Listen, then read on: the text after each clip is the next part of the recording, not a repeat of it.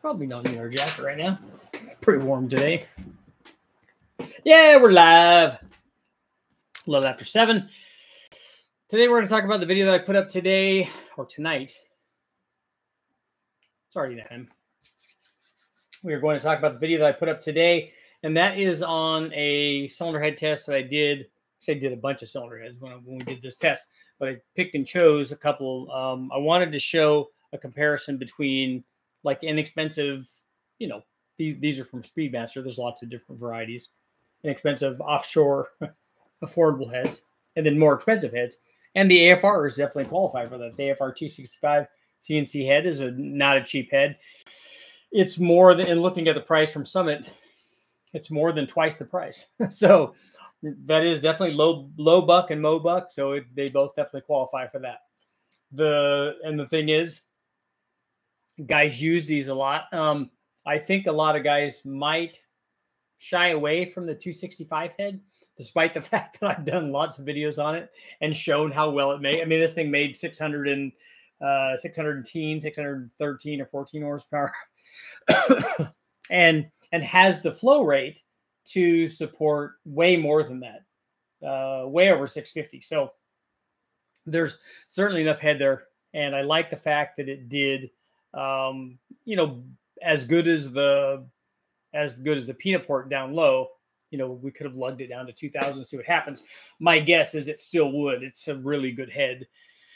And it's small enough, although we've shown time and time again port volume just even at 2000 rpm is port volume really a, a, huge thing it seems to be on the cathedral port versus rec port ls stuff you know, much bigger valves, bigger port. They seem to not make power down low the way that the cathedral port stuff does.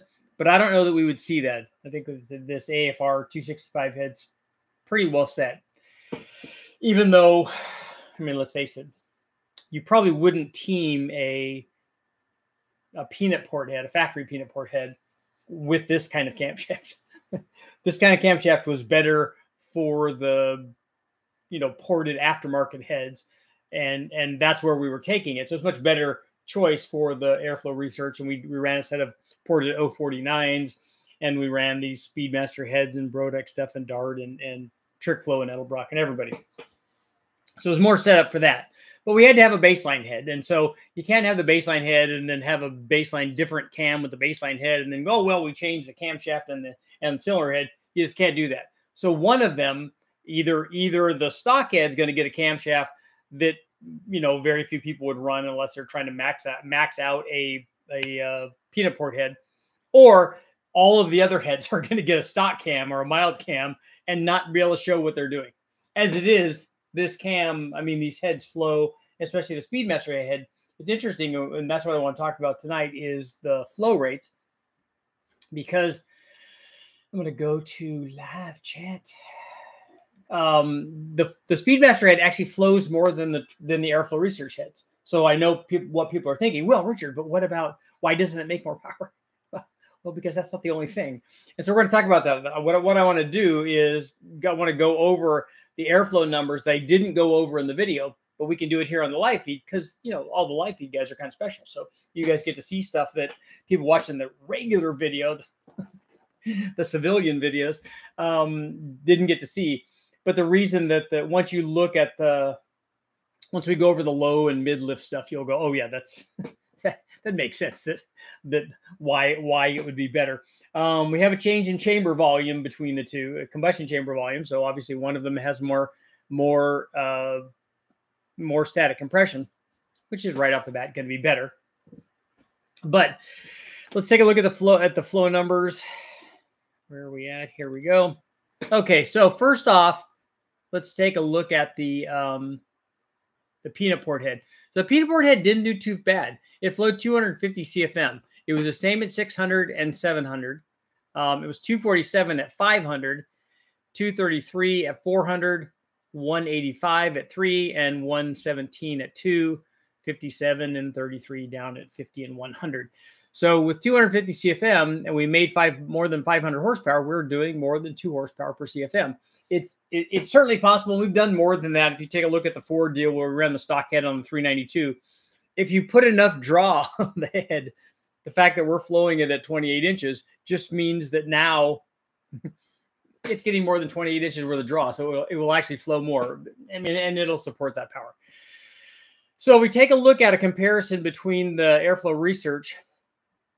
So the peak flow I measured on the airflow research was 332, and that was at um, and it flowed 331 at 600. It actually went down slightly to 316 at 700 lift, but it was nearly 300 at 400 lift. It was 298, at 241 at 300, and 164 at 200.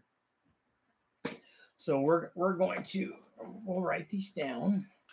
So we'll say 164, 241, 298, 332, 331, and then 317 for the AFR. And by the way, the AFR also flowed 280 on the exhaust as a peak flow. Did pretty well. Uh oh, intake to exhaust flow relationship. We need a single pattern cam, right? with with dimpled rods. Okay, so um, Speedmaster head, Dr. J's oval port head, even the ported oval port heads flowed more than the airflow research head did. It didn't make as much power though.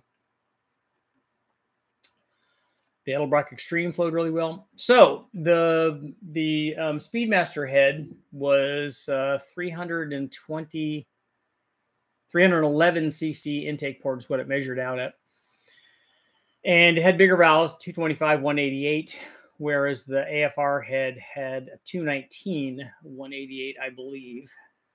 I'm going to go back and take a look at that. Yeah 219 188 so smaller intake valve. It, it obviously didn't need that to make power and to flow as well as it did so it worked out good. So on the speedmaster head we've got 140 214, 276, 314, 331, and 346. And it flowed, oh, and it flowed 284. Nice. So peak exhaust flow. So that was good. So we look at these flow numbers at 700 lift. The Speedmaster head flowed more. It flowed 346 versus 317. So what does that tell you about maybe we should have put more camshaft in this. you guys can argue about that.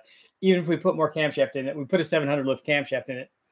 I, I don't think that the Speedmaster head gets to the airflow head. I don't think that, that would ever happen. At 600 lift, they flow the same. They both flow 331. At 500 lift, the uh, the airflow head flows 332. The Speedmaster head flows 314. Down at uh, 276. Down at 400 lift. Four, three, two, five, six, seven. So 400 lift, the airflow research head flows 298. And the Speedmaster head flows 276. So it's 22 CFM better at 400 lift. At 300 lift, airflow has 241 versus 214. So you can see we have a big disparity. And then even at 200 lift, the airflow research flows 160 floor, 164, and the Speedmaster head flows 140. So in that range, we're talking about 20 to 25 CFM more, um, 27 CFM, I think, uh, more through the two, three, four range. Uh, and even five is, uh, what is that? 18. So all through that middle part, where it's very important to make power. the airflow research head flows more. Uh, Kevin, what's going on? Uh, flows more and does it with smaller valves and a smaller port. And, and has a much more efficient chamber design. It has a smaller chamber design, but it's also a much more efficient chamber design. It has a lot of things going for it that, and, and we saw this on the exhaust too. The exhaust side on the airflow research head was better. So not at the peak again, like like we saw before, but this helps explain like what's going on with this and why now it makes sense. If you take an average flow rate of these two, it, it's going to be skewed in favor, especially in the lift range where we have the camshaft. You're going to see it's way favored on, on one side.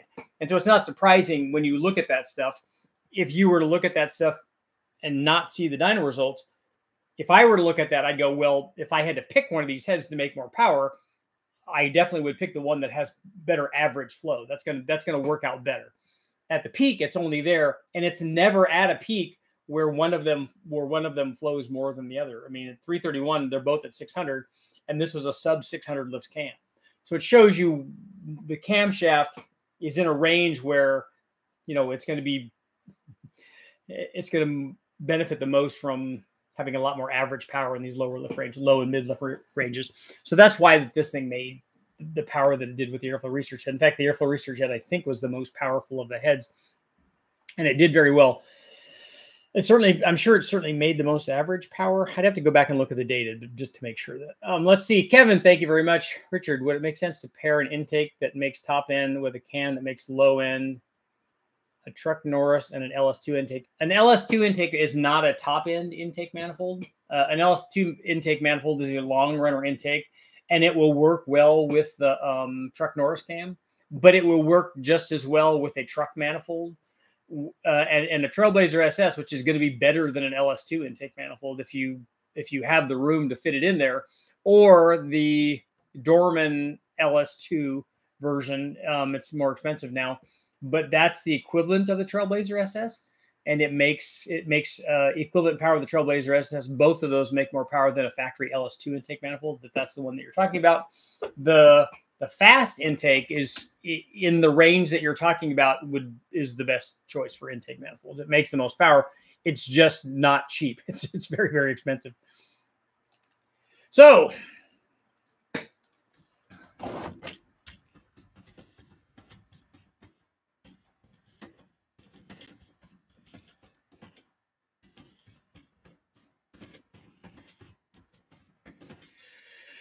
We've already seen how well the these airflow research uh, 260 or 265 heads did, the big block heads did, on a motor that made over 600 horsepower. But I'm still going to pose the question because I think the answer it's not going to be 100%. It never is.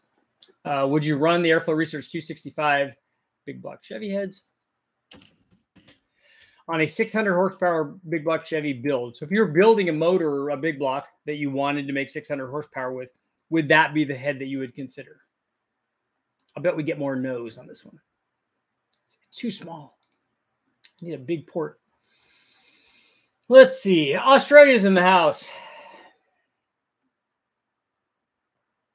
Rex, how's your project going? where, where's everybody supposed to ask that? I do want to know. Do you prefer per, prefer port volume like 255 over velocity? 230 cc port you you would have to see what the the hard thing about comparing port volumes and i did a port volume test. The problem is that you're comparing more than port volumes. Generally when you're changing a head that has different port volumes it's bigger.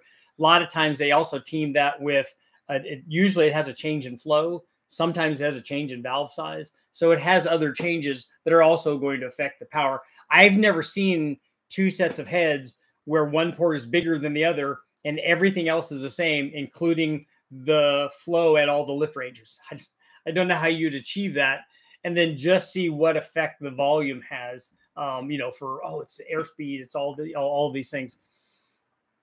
Mike, thank you very much. Progress is going well. Good. I like to hear it.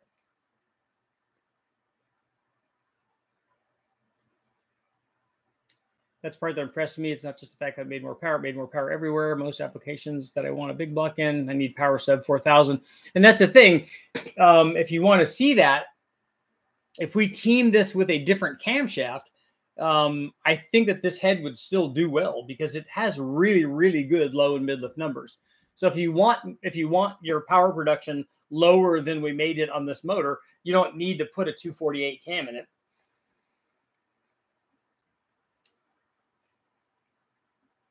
Just bought a set of SB2s for 400. Nice. Richard, can you test some hand ported stock heads? Which which hand ported stock heads? Big blocks or LSs or what? Sean, you were just watching the video and you switched over. Nice. Factory heads had bad exhaust ports. I think guys would argue on the the um, peanut port heads. They also have bad intake ports, um, except for uh, uh, Vortec Pro, which I want to do something with him because um, he's he's done a lot of cool stuff with him, and I, I we'd like to try to do 600 with a um, with a 454 ish kind of motor.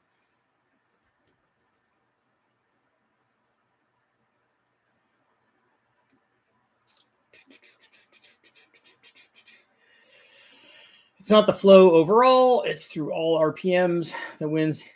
Yeah. Why even test flow below 400 lift? Would you use a cam with less than that? But it's important. it's important for making power. It does, does not process air at 700 lift. This one sure doesn't. It never reaches that.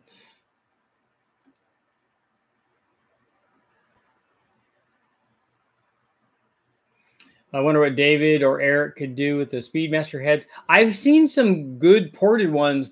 A lot of the or some of these Speedmaster heads start out start out too big already. Um, they have the same kind of problem that like a factory LS3 head does.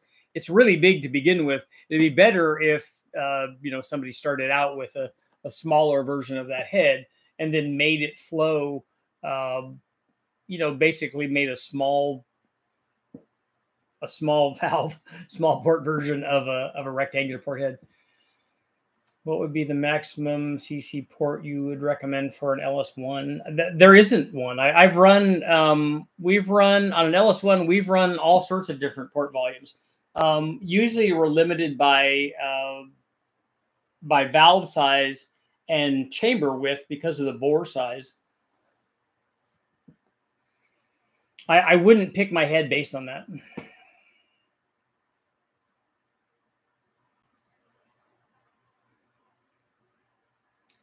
If somebody donates a pair of AFR 265 heads, I will do a comparison between them and stock 781 standard valve heads. Is a 781 a uh, a factory rec port head? If that's the case, I've already done that test. We already know what happens when that when when you do that. Uh, Trick Flow 235 or AFR 225 for an LS Stroker 408. Or what are you doing with it? Is it just a street driver? If it's a street driver, you're not going to neither i mean both of those are going to be great you're not going to you're going to be happy with either one of them if you're trying to make the most power I, I would go through the flow curves and look at those and see and then see what kind of camshaft you have i don't know what intake you have i don't know there's a lot of other things i would need to make that decision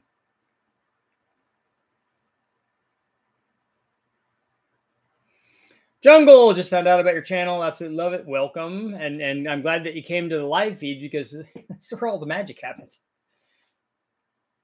Probably trying to find the best cam for my stock 5.3, something that gives the most horsepower without losing anything. That's a that's a tough deal. The the go-to cam is going to be uh, the Truck Norris cam or the Chupacabra or any of those four cams that I just tested recently. That's a good cam that on a 5.3 you could use with a stock converter if that's what you want to do, if you've got a converter in it. And it picks up lots of power. Otherwise, you know, you can make more power than that. But when you start making more power than that, you're talking about a converter and running a lot more engine speed. And then you're you're talking about trade-offs.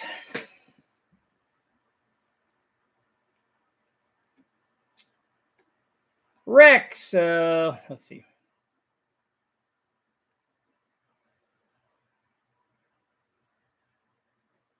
Let's develop variable port cylinder heads. That would be good.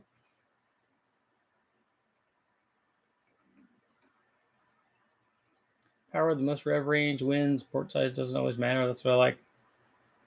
Yeah, I know. I'm not. I'm not nearly as concerned about port volume stuff as I used to because I, you know, way back when I first started testing at Westech, people would tell me that, and I didn't know.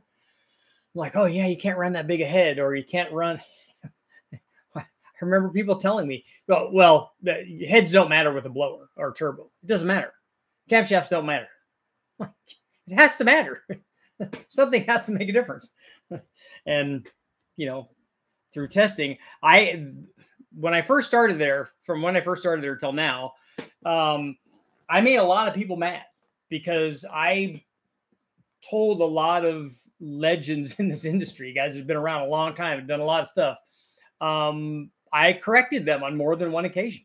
And I'm like, look, I'm not, I'm not doing this because I have, you know, I'm not trying to push my way into the industry. I'm not trying to make waves. But here's the data right here. So if you can explain to me why this does this, and it's the opposite of what you're saying, how do we reconcile this? Do if you want me to do more testing on different application or whatever, I, I understand that as a desire. That would be okay. But I'm telling you that when we put cylinder heads on a supercharged motor or turbocharged motor, and we put cams and we make the NA power, you know, raise the NA power, I said the boost is going to come down, the power is going to go up, and and the cam makes more power with boost and all that. Oh no, that doesn't work. Yeah, yeah, it does. It actually does. Uh, didn't the 265s do better than the Speedmasters? Yeah, they make they make more power, definitely. They also cost more though. I was impressed with the power the peanut port heads made. Yeah, they made uh, more than two horsepower per CFM, so it was pretty good.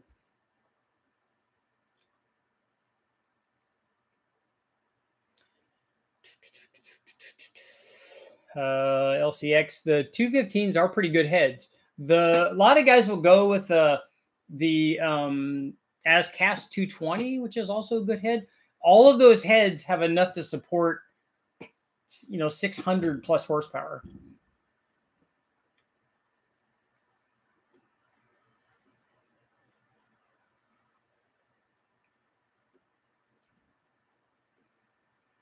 Oh, Ricky, did um, did you see Racer?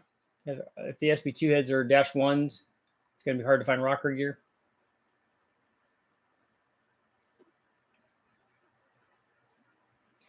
Stuart, I wish you could afford to have my 439. It's kind of a unique combination. There are not many guys building them to gauge what I might be making for horsepower.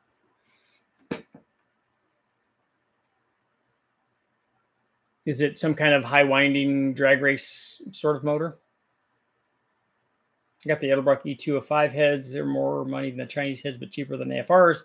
The heads needed a bit of work as the casting was messy, especially around the push rod holes. Did you port them? Can having too big of a head be an issue? Well, we talked about the the and, and I think we would see that if we put LS3 heads on a 4.8. Um, I, I think you you would lose power down low and the cathedral or the rectangular port heads seem to do that compared to a cathedral port head anyway when we run them like on a six liter or whatever. So maybe there is something to be said there. There is something to be said. Let's say that let's say that you because I've run lots of tests where we don't lose a bunch of power. Sometimes we lose some down low, and I think you would see more at part throttle where where it might be softer.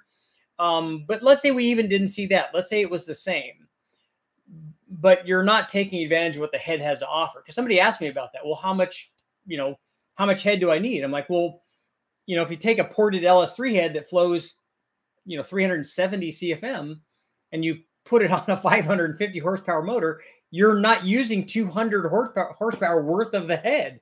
So it doesn't, you know, you don't need that. And, and is it, is that not beneficial or is it, is it even detrimental to have that? And, you know, in my opinion, I like having uh, really good cylinder heads. That way, normally you can come down in camshaft to make a given power mount. But if you're trying to get all of it, then you need lots of motor to work with heads like that that flow that much.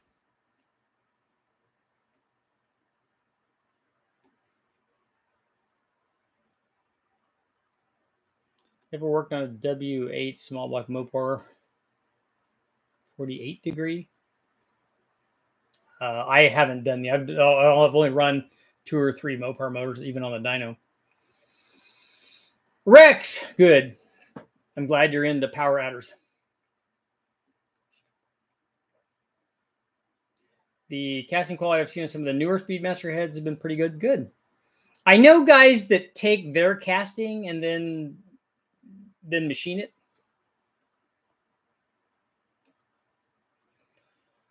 Is the Trailblazer SS a 102? No, it's a 92 millimeter opening. I saw Peanut Port TBI 454 in the junkyard. Those are Gen 5 stuff, yeah. Would it be worth my time to hand port a set of Gen 6? Is that that's up to you. I mean, you, you can definitely improve the flow. Do you have enough cam to take advantage of it? most of the time the flow gains are at higher lift ranges. Do you have a camshaft to take advantage of that? Are are you not making enough power now? And and you know what are what is the what are you trying to achieve here? Getaways here.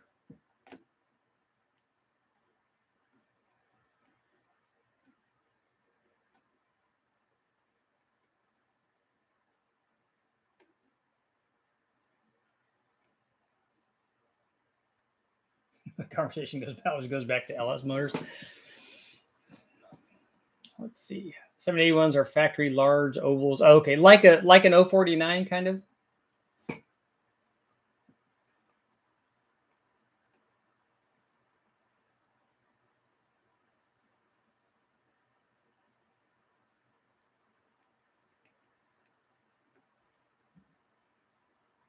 Fuel inject engines are not fussy about port volume because you do not need port velocity to signal the carb boosters. You can feed the engine the fuel. That's right. It, that that might be that's an interesting point. That would we lose? And that was my discussion, Dave, when we were talking about on port volume that we might see more of an effect at part throttle, might be softer.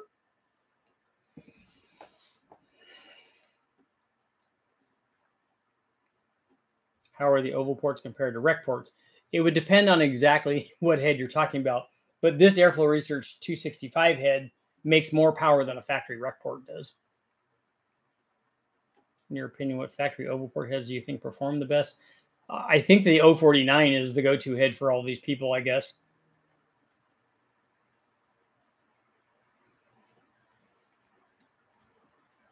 Dart Buick is original LS head. Overbuilt. Uh, you need a head recommendation, a cam suggestion. 460 hot rod five speed, one ton truck, may tow a bit, and thinking Speedmaster head with a something cam. If you're going to use that head, those heads, um, I would have them gone through. And if somebody else has something that would be similar kind of money, I, I would maybe lean more toward that. And for a camshaft, um, for a 460, something like a 230, 236 probably would be sporty enough in a five speed. Yeah, the 781s or 049s I think are kind of similar.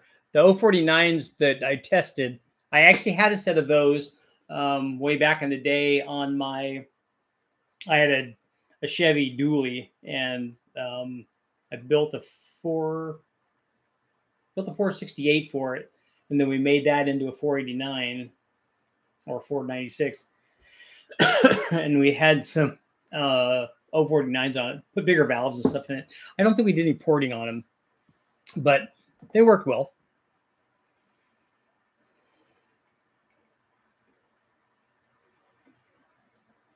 on the two junkyard 454 i think i answered that reloading the question about the cams i think i i, I answered that already but in the comment section that you because you asked that question in the comment section. What would be your recommendation of max boost on an iron block 416 with 11 to 1 compression and AFR LS3 heads? What what block do you have that you went to that you went that big on? And how did you get that displacement? On an iron block, you did one of two things which I wouldn't recommend you went to a 4065 or a 470 bore, which I wouldn't do and wouldn't run boost on, or you put a 4100 stroke in it, which I wouldn't do and I wouldn't run boost on.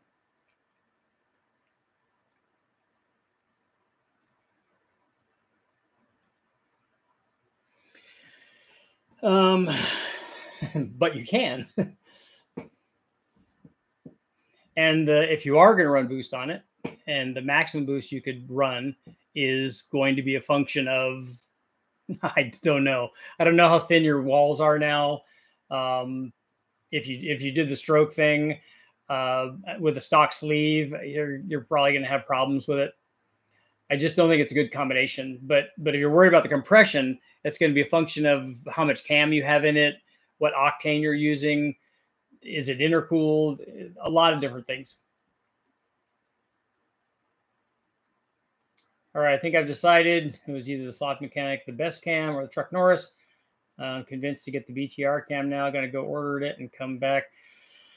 Yeah, the, the best cam is going to be make a little bit more power on top, uh, less power down low. I that video is up. I've compared both of those. If you want to see what both of those do, that video is up. Um, but the best cam will definitely require a converter. Have you ever heard of Skip White heads? I have, but I haven't. I haven't ever run them.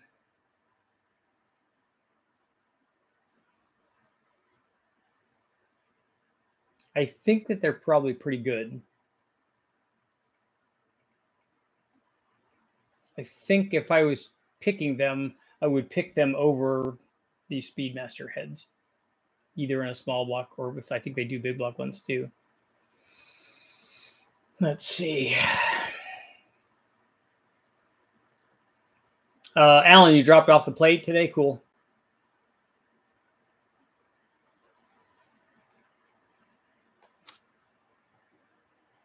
Let's see. Okay. Be good to have a really small cam make 600 horsepower. That'd be harder to do.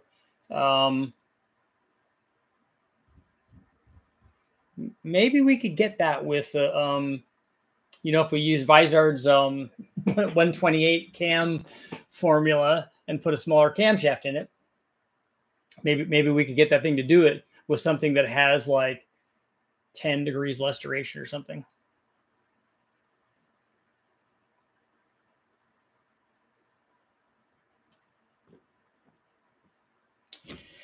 You'll need 680 horsepower to run with my junkyard 454 and stock 781 heads. I think, I think a stock 781 head.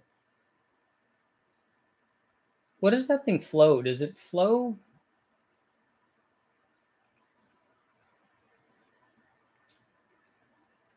I thought that they would have been like 300 CFM or something.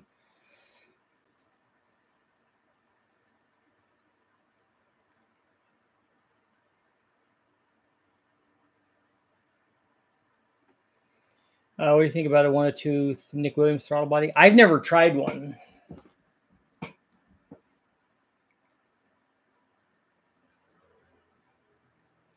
What's your opinion on 2600 solid 6.2 on a truck Norris cam? You don't need it, but it will work.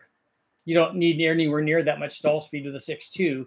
Uh, a, a, stock a stock converter will work fine on a 6.2 of the truck Norris cam. It'll work fine all the way down to probably a 5.3, but um, it, it will improve things.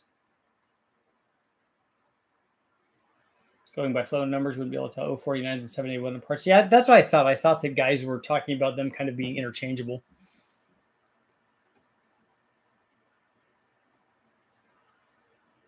What is your opinion on 990 rec port heads? I think that those are the heads that I tested against the air, airflow heads in the test that I did.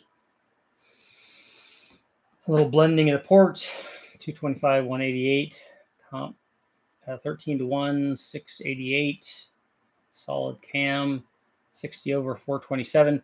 What's the duration on the camshaft? And then what's the intake manifold?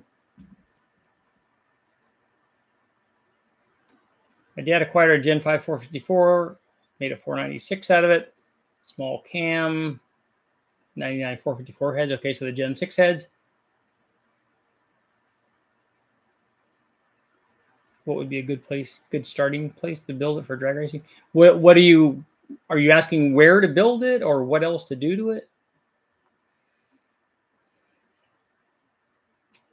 Uh, have you worked with anyone that runs in factory appearing stock tire or in competition luminaire? No, I mean we've run some competition, or the guys at Westech have run some of those uh, style motors at Westech, but I've never had anything to do with them. Um, I've I've met some of the people and looked at their cars and talked to them about their stuff um, because they've come to do dyno testing, um, chassis dyno and engine dyno stuff, but I didn't ever work on any of them. But that stuff's pretty cool. The stock appearing stuff is is is pretty impressive.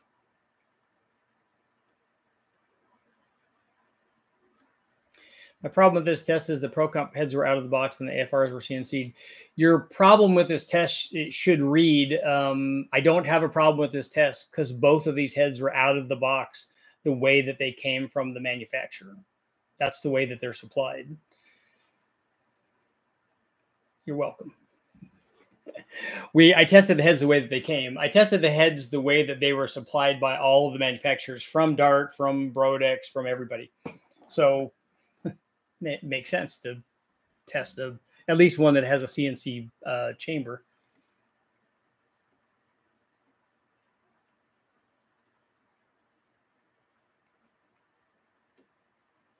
It's a 4065 bore. Yeah, I, I would did you sonic check that thing to make sure what the what the cylinder wall was? The thing is, Nate, you don't need that displacement to make power with a turbo. You you you you would rather have wall thickness and and block integrity, and making the power is easy with a turbo. You don't need to make the NA power. I mean, it's fun driving around with an NA motor like that. And if I was doing an NA motor, I might try that. I don't think I'd go to a 4065 bore on a on a iron block I would go to a 4030, but um, you don't need that with a turbo. The turbo will do that with a 4.8. It'll do it with a 5.3. It'll do it with a 6.0. It will do it do it with all those.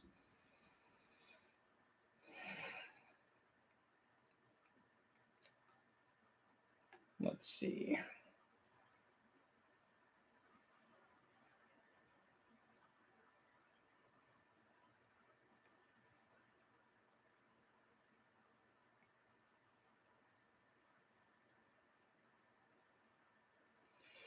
Uh, reloading. Well, those two things were tested on two different motors that started out with different power levels because they're two different junkyard motors. And all I can go by is what they did. I don't, you know, we tried one cam in one and one cam in the other, and I can just report the changes. One of them started lower, and I need to go back and look and see if that. My guess is that's probably the bigger cam one. Do you think that the BB2 Extra 365 is too much for a 496 with an F2 ProCharger? Given I don't care much about losing power at the bottom end, the head will work. I don't. I don't know that you're using all of that head on a 496. I would doubt that you are, unless you're, unless you've got a lot of camshaft and stuff in it.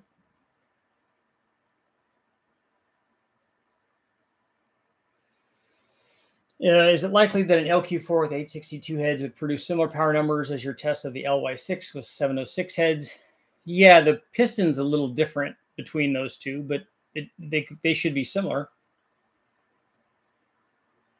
I I don't know if it, it would have. I don't know if it will make 500. We were talking about that the other night. I, I think it will. I think it will on the. It won't make 500 with 706 heads. Not not by not even close my point was that it would make 500 with the rec port heads. 706 heads are going to be way down compared compared to a rec port head. Richard, I'm putting a 49 in my dually. I didn't know you did that. Yeah, I did it. Um, it was a whole thing that I did.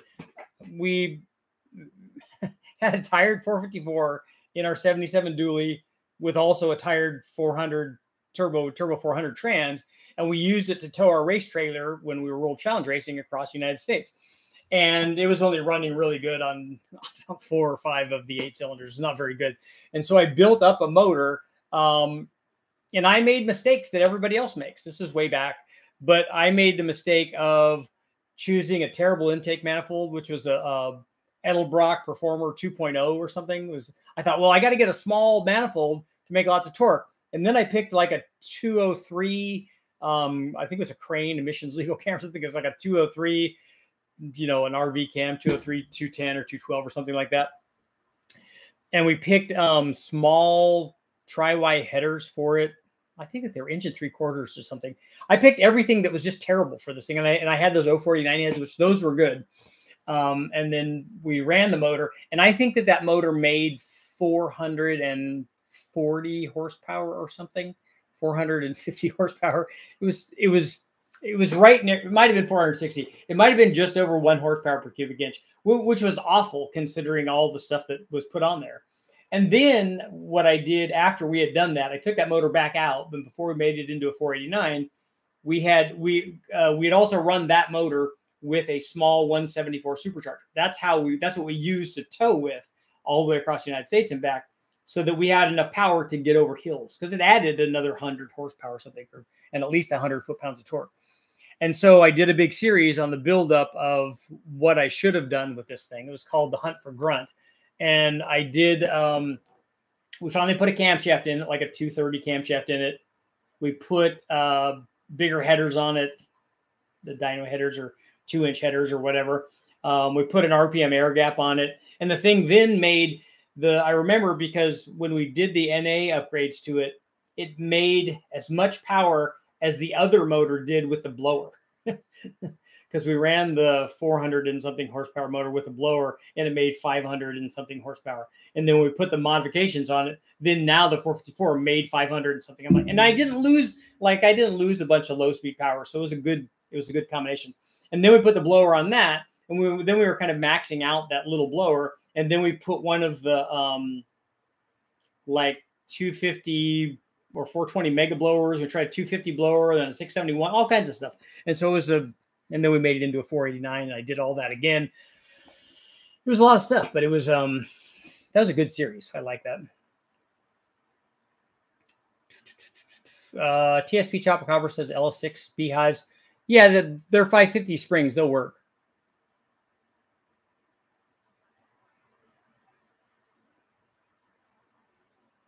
But your your dual springs will work fine too. You don't need 660 lift springs with that camshaft. Um, the closer that you are to coil bind, the better off you would be. But you're not going to be revving that motor, and the 660 lift spring will work. It's just a lot of lift, and it's and it's more load on the lifter and the camshaft and the um, rocker arms. Uh, Rex, it's not just the cam on David's motor. Yeah, I'm not. We, I wasn't talking about having David build a motor. I was saying that that this motor could make more power if it had a different camshaft in it.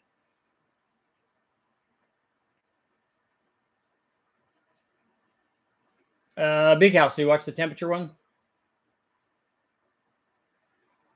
Richard, if you're going to go for a max effort 389 bore LS, what heads would you use?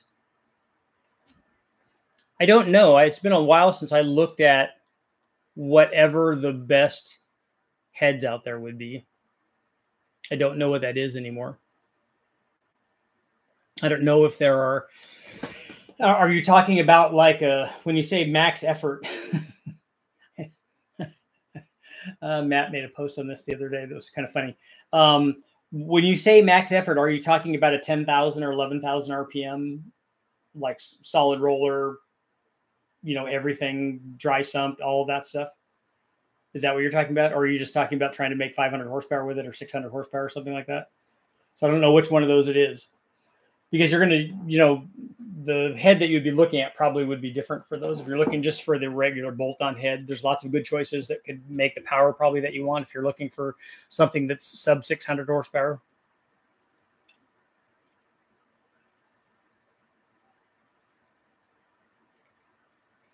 Uh, Jason, thank you very much. What's your take on 291 rec port heads on a 454? Is a is a 291? That's an old school. That's like the heads that I have on the the um, L78. The, those are valuable heads. you should you should probably hold on to those.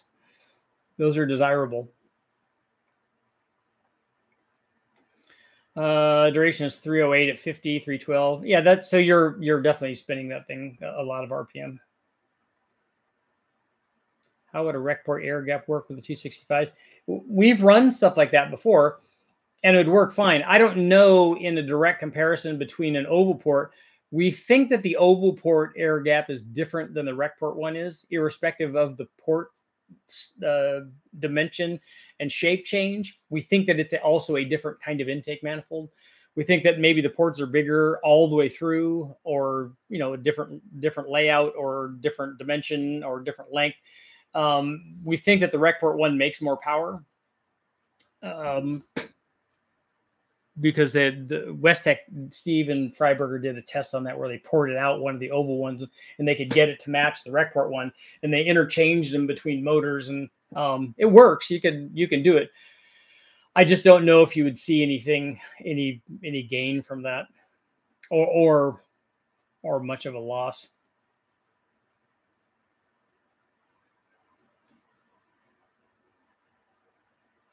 Uh, Austin, a 496 should help should help knock two seconds off pretty easily. Um, did you give me uh, send me an email if you want me to suggest um, or I, I mean you can take a look at the videos. I have lots of stuff for 496s that have made from 600 to near 700 horsepower. Westech has one I think that's probably near 800, but it's you know it's pretty spicy. I didn't buy the Cleveland in the wrecking yard.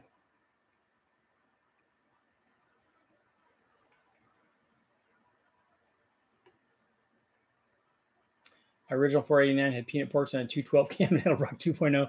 Yeah, this is not um and Freiburger, they're doing engine masters and they just did a test on those um dual plane intake manifolds. He said, Man, that one's terrible. I said, I know, that's the one I do remember I had uh and I don't I don't even know if Brule was there at that time. This was way back.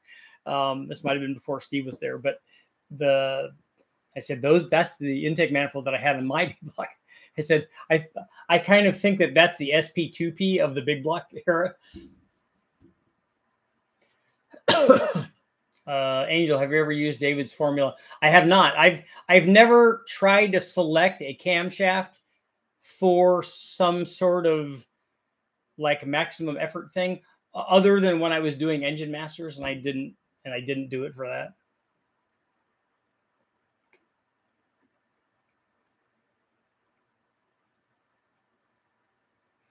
Are there any advantages other than relocating the oil filter to an external wet sump system?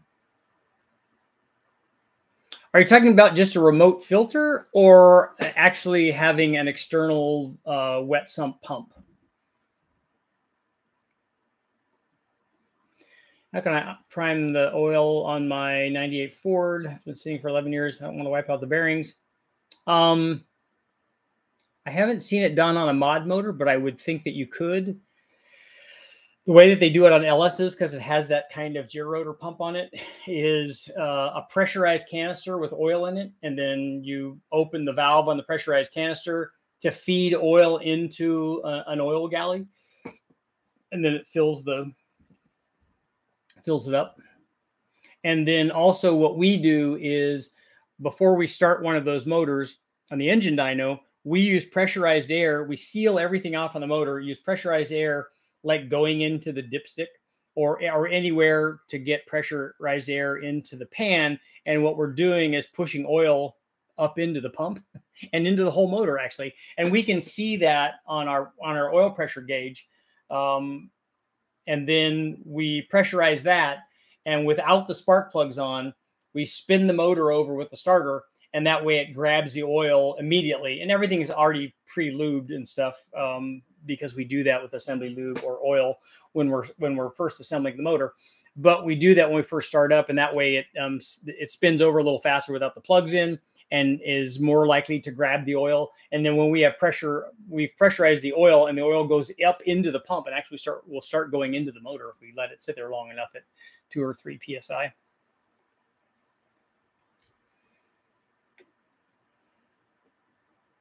Do LS cams require a break-in? No, we don't ever. We just put them in and run them.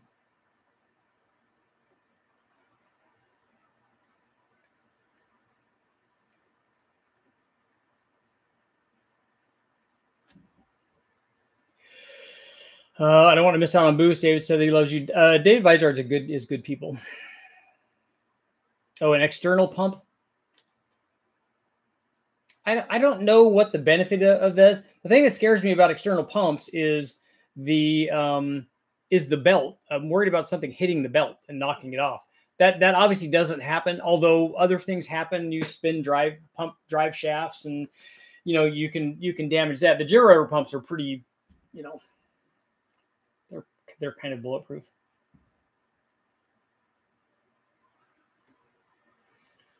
Uh, Freya, so you're using it has to be a stock bottom end. So are you limited in camshaft then? It, it is hot up here. It was 90 today, I think. Do you think it would make much of a difference using the 2.0 versus an air gap on a stock Gen 5? I don't know. I kind of would like to do some testing on one of these junkyard motors, probably not a Gen 5, but like a Gen 6. I'd like to do a test on some of these dual planes that I've run that we have for big blocks, particularly oval port stuff. I'd like to see what happens if we I don't I don't even know if we have one of those uh, Performer 2.0s if they if they have it at Westech. Um, maybe they have the one from Engine Masters. I'd like to try some of those because I want to see on some of them I think they have a full divider, some of them have a cut divider. I kind of want to see actually what's going on down there, you know, down at 2000 RPM on some of these stock ones and see if those are, which one of those has a benefit. Typically, when I run a divider all the way up, the signal's better to the carburetor down low. It's, you know, it's happier.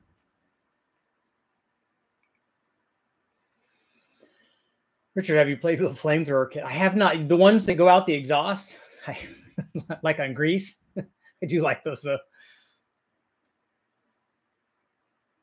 Should try Big Bang on a is that a turbo diesel or something? Uh, we're not gonna run diesels on it. 31 degrees here. Yeah, it was, beautiful here today.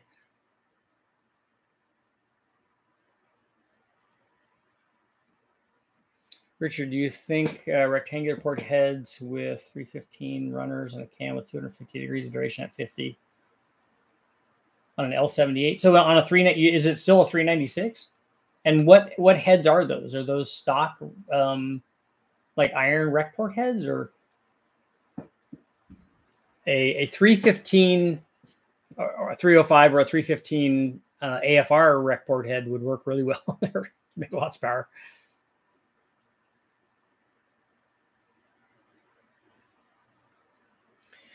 No, just stock rods. Stock rods, pistons, block can run upgraded hardware though. It's a budget heads up class. Okay. So if you, you you can have a piston that has a valve relief in it, so you could run lots of camshaft in it. Do you ever do people ever weld the floor of the intake port to have a raised port? Then you'd have to do some some stuff to the top of the port too, though uh, Pac 12 18s. I don't know what a Pac 12 18 is because I I don't think I've ever used that spring. I know that it's a common one out there, and I probably should know more, but I, I haven't.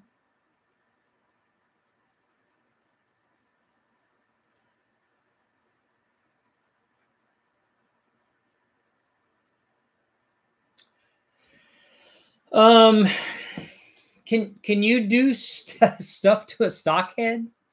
I mean, there's lots of tricks that you would do to a in, in a stock class, depending on how strict they are with stuff.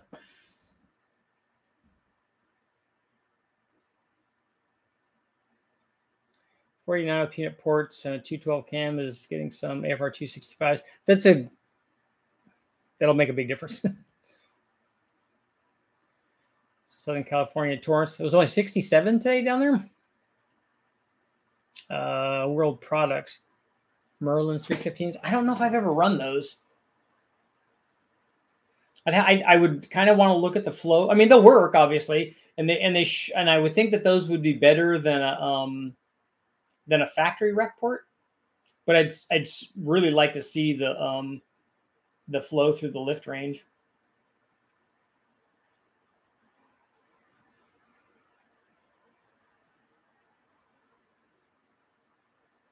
Ditching the 2.0. I, I think that's probably a good idea.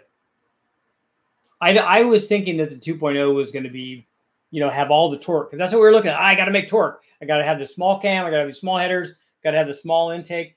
I think we, man, I need to go back and look and see. I we we may have had a we may have had a quadrajet on it, and I also had a, a timing retard on it, so that when we were going up hills with the blower, we had so we take timing out of it.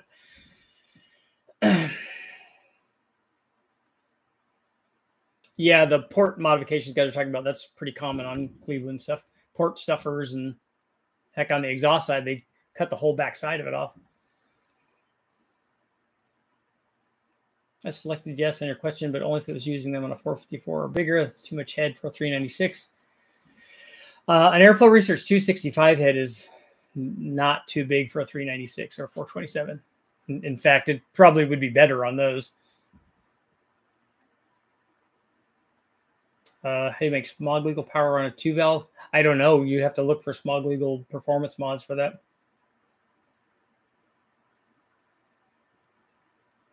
Have you made a video like temperature video, but only pull timing to see how much horsepower changes?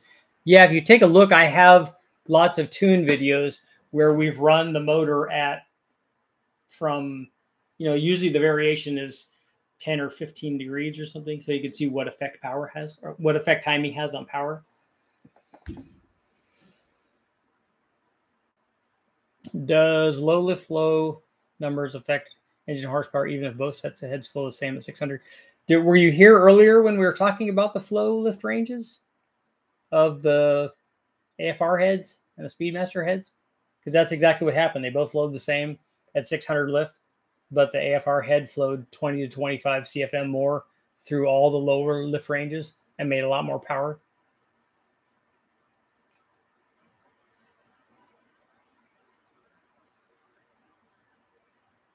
Did I think the overflow cap wasn't correct? That's not good. what heads would you think on a small block Ford, you know, a street car, five speed, RPM two? Uh, I would pick 185s.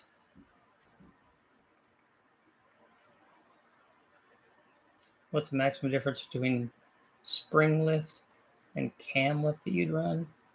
It's 108.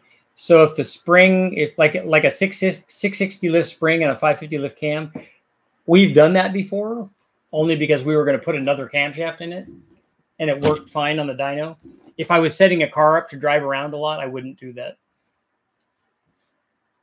Like I said, it's it's it's bad for um, spring control, and it's also you're running way more um, spring rate than you need probably for the camshaft that you have, and that makes it harder on all of the parts. Merlin 43 rec parts work great on my old 468.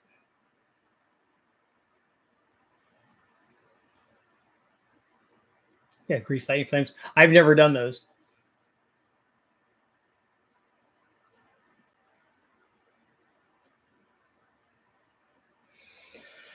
uh, Dirt, you're going to be looking at a, oh, it's an inline Windsor head. Hmm.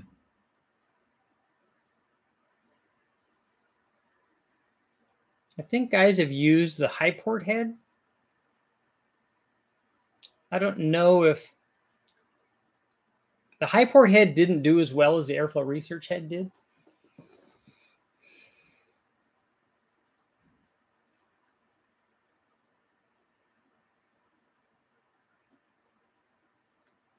So you can't use a Yates style head.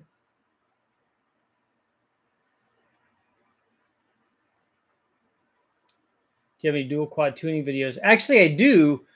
I well, I don't have a dual quad tuning video. I was there while Westech was running a dual quad 283 from a 61 Corvette, and they had to finagle with the carburetor, carburetors, a lot to get it to work, and they did and it's really cool because it's a it's going in a 61 Corvette that the guy's going to drive around, and it's a stroker 283, which means it's a 350, and it's a weird combination because it's got a really it's got a roller cam in it that I think is way too big, and yet it did, did seem to work just fine.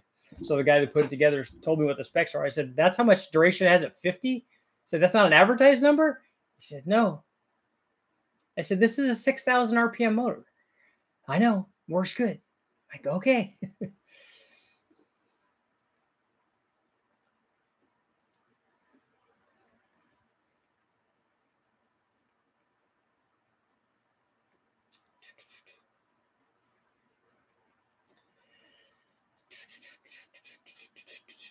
Uh, dirt late model requirements are inline only. Yeah. Stuart, I have to apologize for what might seem like random comments. No, that's the thing about the live feed is uh, I may have a the topic of discussion, but we're not limited in our discussion. You'll see if you come here fairly often that it will degenerate into, into golf ball dimples and rod ratio and Bigfoot and UFOs and all sorts of weird stuff sometimes. Bob, the doctor told you to lose 40 pounds. You only have 65 to go. Nice.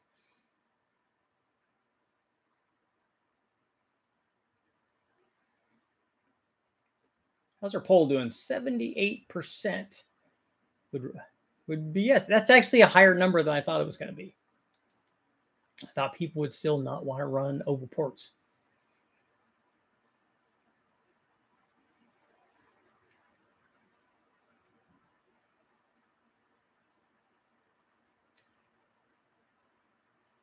Yeah, the canted valve stuff certainly can make a lot of power. Oh, that's right. I forgot the snakes and dogs, puppies and tigers and lions. Oh my. Lions and tigers and bears. Uh, how would you go about measuring piston dome? I don't normally. Normally, I just go by what the manufacturer says. But I suppose if you could seal off the top and pour water in it and measure it, because as long as you have it, you have it in a fixed position down in the bore, you could get close and just do a displacement thing. What happened with the Ford Bear motors? They're just sitting.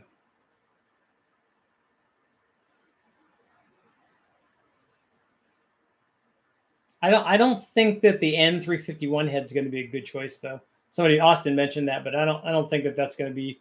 I don't think that's in the same league with a airflow head.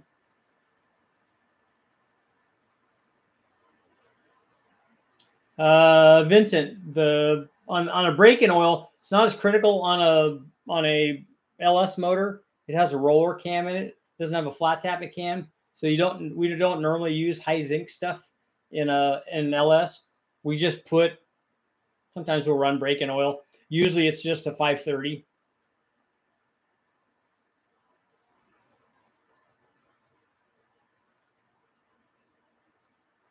Um, Cody, the running nitrous is just going to add to the power that you have. And a 205 head on a 306 in a mild combination, like you're talking about, I don't think it's going to gain you anything.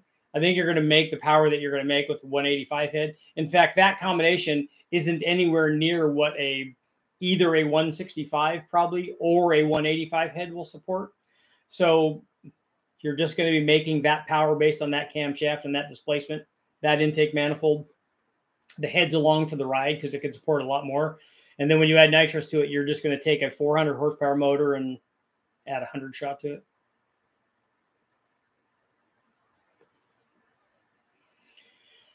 That's what we use on the 363. What the the N head?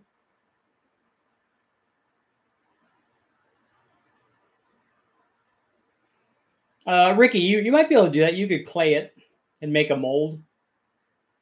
I, I haven't given my Mustang any love lately. I haven't seen my Mustang in, in a decade. After seeing all your tests with AFR 265, it seems like it's about the best here. It it would be you'd be hard pressed, I think, to find a better kind of streetish mo- street head for that than that. I think.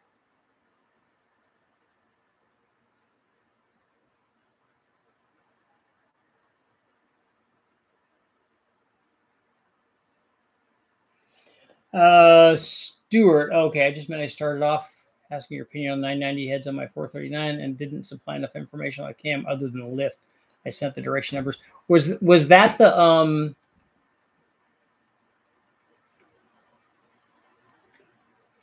Stuart, was that the 300 lift cam or the 300 duration cam?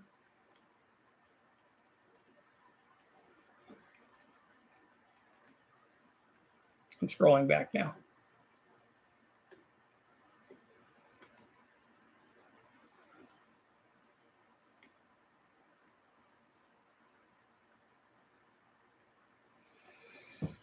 Naturally, now I can't see it.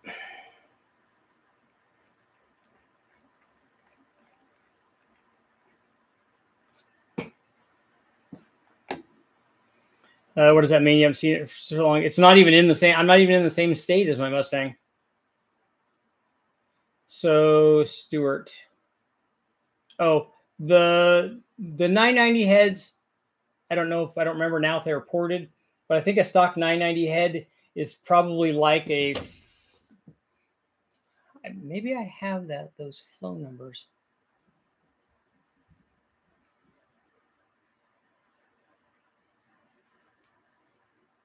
I'm thinking that a 990 head flows low 300s or something, low to mid 300s, 330 or something like that. So it could support 650 horsepower or more if everything else is right. That's a big cam, so you're going to be running lots of engine speed.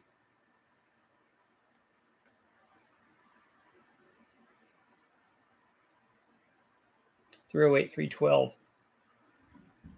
So you're you're going to be spinning the heck out of that thing.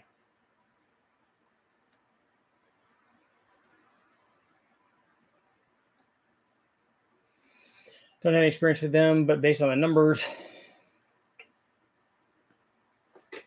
yeah, the, the airflow research head flows. Those heads will flow over 300 by by a pretty good bit.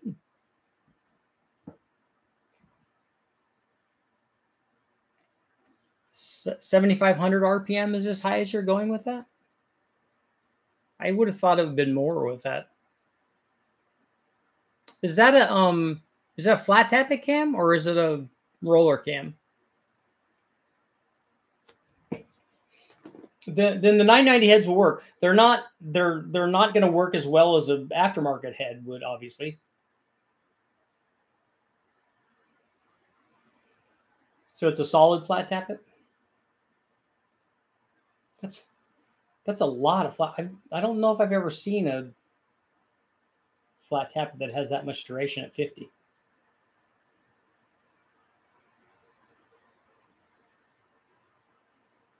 That's a ton.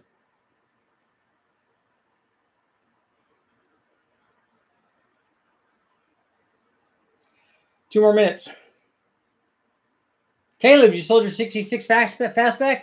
I told you I'd give you 1500 for it not cash and not all at once, but you know, eventually.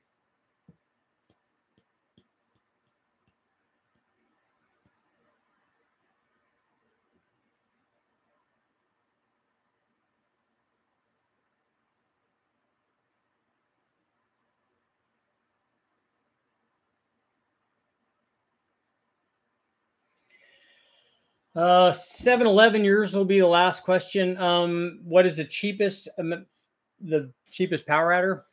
It would have to be a turbo because it's a, all the stuff that you could do yourself. The turbo itself, it could be a couple hundred dollars. Then you have to do lots of stuff. So if you're a talented guy, you can do that. If you have to buy a whole kit, then you're looking at other stuff. The the LSA blower is no not no longer an affordable thing. Um, you're talking about stuff that's multiple thousands of dollars to to make work. You should be able to put together. Most guys can put together a turbo kit for a lot less than that. And on that note, it's time to go. Uh, if I haven't answered your question, please come back tomorrow or, or ask me in my email or in comments, or whatever you need.